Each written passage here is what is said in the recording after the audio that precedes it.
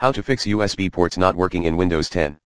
Here's how to fix USB ports not working in Windows 10.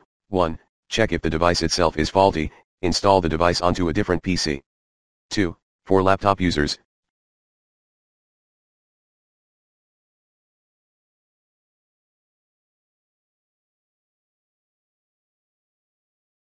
check your power supply.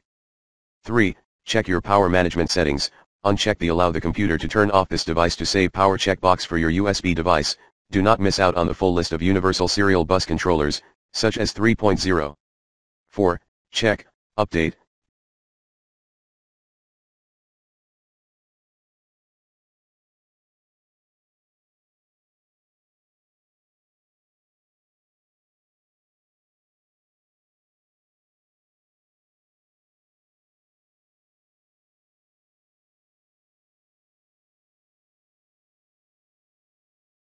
your USB device drivers.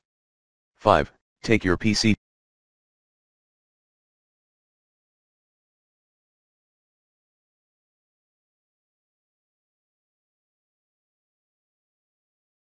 to a repair store and check your USB ports.